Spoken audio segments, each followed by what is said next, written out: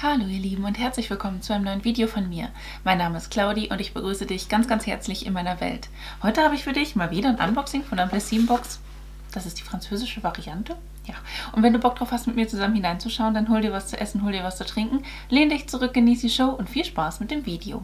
Ich bin ein bisschen verwirrt, denn eigentlich konnte man dieses Jahr bei der französischen Variante der Blessim Box wählen, ob man die ähm, normale Variante möchte oder die Sonderedition La Rosée. Und ich habe scheinbar beide bekommen. Denn die normale Variante habe ich euch schon vorgestellt, kann ich euch im E-Mail verlinken. Und ähm, ja, jetzt habe ich sie nochmal da. Die kostet 16,90 Euro plus irgendwelche, keine Ahnung, Zusatzgebühren. Also ich glaube, dass ich da 18,90 Euro oder 17,90 Euro pro Box und pro Monat für bezahle. Wie gesagt, jetzt habe ich eine zweite gekriegt. Danke Blissy in Frankreich, finde ich cool. Ähm, und dann schauen wir doch einfach mal easy peasy, lemon squeezy rein, was wir hier drin finden werden. Ja, Winter Bliss ist nämlich auch hier tatsächlich tatsächlich das Motto. Avec La Rosée steht hier auch mit drin. Ich habe von La Rosée aktuell in Anwendung einen Maskenstick, den wir, glaube ich, hier auch im Mini-Format drin haben sehr, sehr witzig. Wirklich. Französisches Heftchen, ne? Ähm, da stehen alle Sachen auf Französisch drin. Ich bekomme die deutsche Box jetzt auch demnächst noch zugeschickt. Dementsprechend kann ich euch das Motto dann auch noch mal übersetzen. Denn die deutsche Box habe ich in Kooperation. Das ist alles total crazy jetzt gerade für mich. Und ja, die Produkte sind hier aufgeführt. Hier sind nur La Rosée Produkte drin. Dann hat man in diesem Heftchen auch noch immer so ein bisschen was drinstehen, dass die irgendwelche Sondereditionen haben. Die haben immer super viele Special Editions auf der französischen Homepage. Gibt es aber mittlerweile auch auf der deutschen deutschen Homepage. Schaut gerne mal vorbei. Ja, mm, ein Panda-Tee haben wir hier auch mit drin. Den gleichen, glaube ich, den wir auch schon vorher hatten. Ähm, Pampelmuse und Gingembre. Gingembre ist, glaube ich, Ingwer. Das ist mir meistens ein bisschen zu scharf im Tee. Ja, La, äh, La Rosée. Ihr merkt, ich bin total verwirrt. Ich habe heute meinen Drehtag, bin ein bisschen bunt geschminkt. Das Video dazu kommt noch online. Ja, ja, ich weiß, es ist schon fancy-pancy, aber manchmal habe ich da auch Bock drauf. Man muss auch mal ein bisschen was Buntes ins Leben bringen, auf jeden Fall. Hier habe ich jetzt La Rosée Mask en Stick. Das ist eine ganz, ganz tolle Maske. Hier sind 15 Milliliter drin und du brauchst da auch nicht viel von. Ich habe die Originalgröße davon, die hatte ich mal in der Goodiebox drin enthalten und du brauchst wirklich nicht viel von diesem Stick. Du wirst da ewig und drei Tage mit auskommen, weil das ist ein... Ähm, ähm, das ist noch was drüber oder das ist da schon, weiß ich nicht, ein fester Stick. Und den machst du einfach, du gehst damit über dein gereinigtes Gesicht und lässt es dann irgendwie drauf, während du dir die Zähne putzt oder so, kannst es dann abwaschen, fertig ist die Laube, aber das ist nur eine super dünne Schicht dann auf dem Gesicht. Und hätte ich den in der kleinen Variante, gerade in Anwendung, hätte ich mich wahrscheinlich ein bisschen mehr darüber gefreut, weil du brauchst ganz schön lange, um diesen großen Full-Size-Stick aufzubrauchen. Ich glaube, da sind 75 Milliliter oder so drin. Richtig großes Oschi-Ding. Und hier halt die kleine Variante. Sehr cool. Dann habe ich hier drin enthalten etwas, was wir auch in der anderen ähm, Blissim-Box äh, haben. In der normalen Variante den Lippenpflegestift Nourishing Lipstick von La Rosée. Den können wir jetzt gut gebrauchen, weil es ist einfach sackend kalt, es ist eine trockene Luft. Wir freuen uns, wenn wir unseren Körper, unsere Lippen, unser Gesicht mit Feuchtigkeit versorgen können, weil die Heizungsluft doch alles sehr austrocknet. Ich sehe auch gerade schon wieder, dass hier mein Getränk leer ist. Ich muss mir gleich unbedingt wieder was holen. Ich kriege auch schon wieder einen trockenen Hals. Also das ist wirklich heftig, ne? Also wir arbeiten auch tatsächlich hier zu Hause mit Raumbefeuchtern und so, weil wir ansonsten eine viel zu niedrige Luftfeuchtigkeit hier hätten. Ja, drei Produkte haben wir hier noch von La Rosée drin enthalten.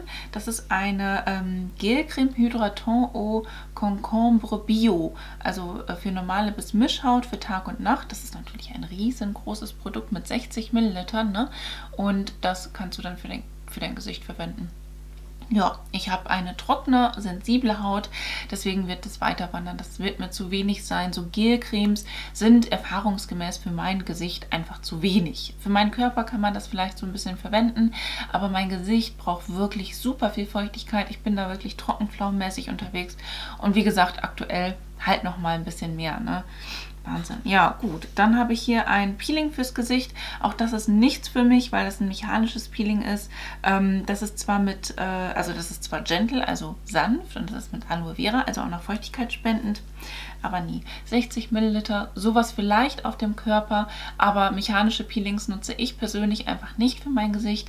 Ganz einfach aus dem Grund, dass ich durch meine sensible Haut einfach durch diese mechanische Rubbelwirkung nicht gut fahre. Also ich merke einfach, dass ich dadurch viel mehr Unreinheiten bekomme, dass ich dadurch ein viel unruhigeres Hautbild bekomme. Ne? Und wenn ich dann halt mit Enzympeelings oder mit chemischen Peelings arbeite, kann ich da auch entsprechend dosieren, wie ich das halt auch haben möchte. Na, da natürlich auch immer super vorsichtig dran tasten und so.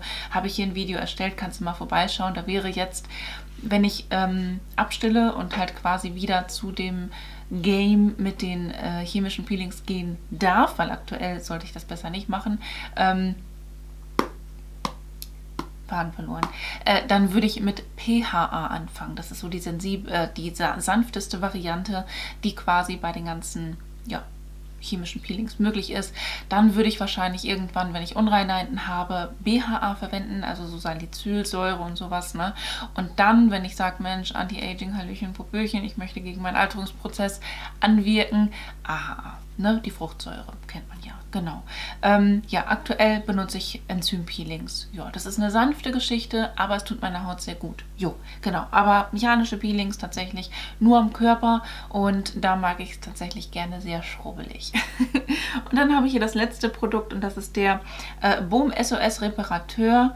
Das ist äh, mit irgendwelchen ähm, natürlichen Ölen, SOS Repair Balm und da haben wir 20 Gramm drin enthalten. Sowas kannst du wahrscheinlich für pff, all over verwenden, ne? für trockene Lippen, Lippen, trockene Stellen, wo auch immer. Ja, das ist auch eine ganz feste Geschichte.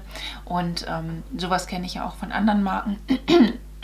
Zum Beispiel kann ich mir das auch ganz gut vorstellen, dass wenn man ja, ähm, kennt ihr das so an den Schienenbeinen? Das hatte ich eine ganze Zeit lang. Das hier ist jetzt die Box gewesen. Ich habe mich eigentlich ja auch bewusst für die andere Box entschieden, weil hier haben wir halt eine reine One-Brand-Box und wir haben eine Box, wo wir nur Pflege drin haben. Das ist mir persönlich immer ein bisschen zu wenig. Wenn ich eine Beauty-Box hier auf diesem Kanal auspacke, freue ich mich immer über die Abwechslung, auch dass dann dekorative Kosmetik drin enthalten ist. Das haben wir jetzt hier in dem nicht gegeben, aber das war ja ne, auch gesagt und deswegen konnte man ja auch wählen. Ähm, aber an und für sich, auch von den Produkten, ist es leider keine Box, die was für mich ist. Denn ich kann oder ich möchte tatsächlich nur drei von den fünf Produkten verwenden zwei Produkte sind nichts für mich. Und ähm, ja, deswegen werden die dann weiter wandern. Und das ist dann natürlich schade, ne, wenn man eine Beautybox hat und äh, zwei von fünf Produkten weitergeben wird.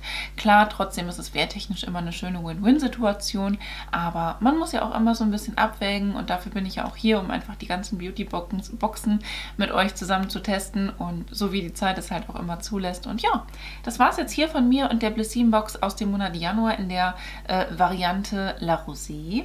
Ja, und äh, wenn es dir gefallen hat, kannst du mir gerne einen Daumen nach oben da lassen. Würde ich mich mega drüber freuen. Ansonsten wünsche ich dir einen wunderschönen Tag, einen wunderschönen Abend. Lass es dir ganz einfach gut gehen. Fühl dich ganz doll gedrückt von mir.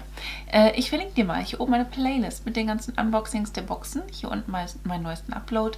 Auf dieser Seite noch ein Video von mir. Und hier oben kannst du, wenn du möchtest und es vielleicht noch nicht getan hast, mich sehr, sehr gerne einmal kostenlos abonnieren. Ich würde mich echt von Herzen drüber freuen.